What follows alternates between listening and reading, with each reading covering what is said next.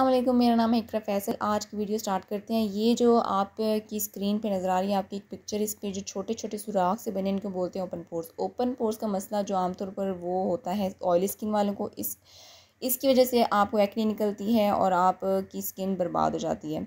अच्छा इसको रिमूव तो बिल्कुल भी नहीं किया जा सकता, चाहे आप कोई भी क्रीम लगा लें, कोई भी रेमेडी यूज़ कर लें, बल्कि जो है वो इन पोर्स को आप मिनिमाइज़ कर सकते हो, इनका साइज़ छोटा कर सकते हैं, रेमेडीज़ यूज़ करके करके या फिर क्रीम यूज़ करके।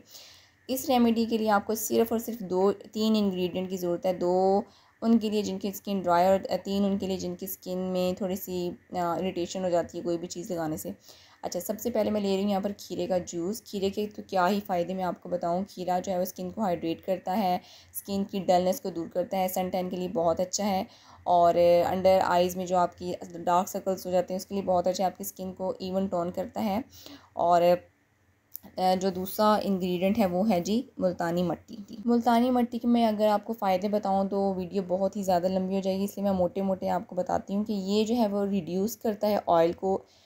फाइटनिंग एक्नी है ये एक्नी के लिए बहुत ही ज़बरदस्त किस्म का है ये। उसके बाद आपकी स्किन को बैलेंस करता है, आपकी स्किन को ब्राइटन करता है, आपकी स्किन टोन को। उसके बाद रिड्यूसिंग पिगमेंटेशन ये पिगमेंटेशन को भी रिड्यूस करता है।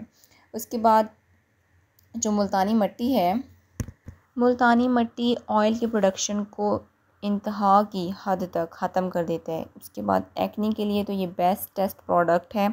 आपकी स्किन को भी ब्राइट करता है, आपकी स्किन को बैलेंस कर देता है इवन टोन कर देता है और जो पिगमेंटेशन आपके फेस पे होती है, उसको भी ये दूर करता है। अच्छा जी, मुल्तानी मट्टी जो मैं यहाँ पर यूज़ कर रही हूँ, वो मेरे पास सईद गनी की है और इसको मैंने कंटेनर में इसलिए डाला क्योंकि ये जो है वो इधर उधर जब हम इसको रखते हैं तो वो जो है गिरती पड़ती रहती है, इसलिए मैंने जो है इसको कंटेनर में डाल के सेव कर लिया। उसके बाद यहाँ पर ये मैं आपको दिखा रही हूँ, एक हुसन यूसुफ, ये भी मिल जाती है। आपको जो भी मिले ना, आपको जो भी साशे में मिलती है पैकेट्स में, आप वो भी यूज़ कर सकते हैं। बस मुल्तानी मट्टी होनी चाहिए। उसके बाद थर्ड इंग्रेडिएंट है जी, अरके गुलाब। अरके गुलाब मैं इसलिए यूज़ कर रही हूँ कि मैं अगर कोई भी चीज़ अपनी स्किन पे लगाती हूँ ना तो मुझे इरिटेशन फील होती है हल्की हल्की मुझे ईचिंग स्टार्ट हो जाती है, इसलिए मैंने यूज़ किया। अगर आपकी कोई ऐसा मसला नहीं है तो आप इसको स्किप कर सकते हैं। यहाँ पर मैं ले रही हूँ एक चम्मच बड़ा वाला भर के मुल्तानी मट्टी का। उसके बाद आप अपनी जो है वो इसकी क्वांटिटी को कम ज़्यादा कर सकते हैं जितना आपने बनाना है। मैं जो है वो ज़्यादा नहीं बनाऊँगी, फिर फ्रेश दोबारा बना लूँगी।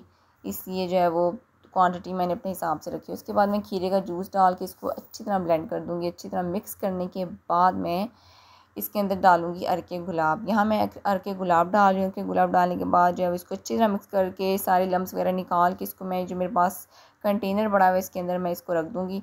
यकीन जाने ये रेमेडी इतनी अच्छी है, इतनी अच्छी है। मैंने इसको इतने अरसे से यूज़ किया तकरीबन तीन चार साल से मैंने इसको यूज़ किया ये बहुत ही ज़बरदस्त किस्म की, आप जैसे इसको लगाओगे ना आपको लगेगा आपकी स्किन एकदम सॉफ्ट स्मूथ सी आपको फील होगी। एक एक ब्राइटनिंग से इफ़ेक्ट आपको आएगा इस इस लगाने के बाद। आप लगाएँगे तो आपको ख़ुद फील आएगा इन और यहाँ पर मैं बहुत बहुत शुक्रिया कहना चाहती हूँ। थैंक यू सो मच हर उस बंदे का और उस बंदी का, जिसने मेरी वीडियो को लाइक किया। मुझे बहुत ज़्यादा प्यार देने के लिए मेरी जो पिछली वीडियो थी। Thank you so much face को अच्छी तरह वॉश करने के बाद आपने इसको लगाना है और उसके बाद हल्के हल्के हाथों से मसाज करना है। उम्मीद करती हूँ आपको मेरी ये रेमेडी बहुत अच्छी लगेगी, काम आएगी, मुझे अपनी दुआ में याद रखिएगा। मिलती हूँ आपसे नेक्स्ट वीडियो में। टिल देना अल्लाह हाफिज़।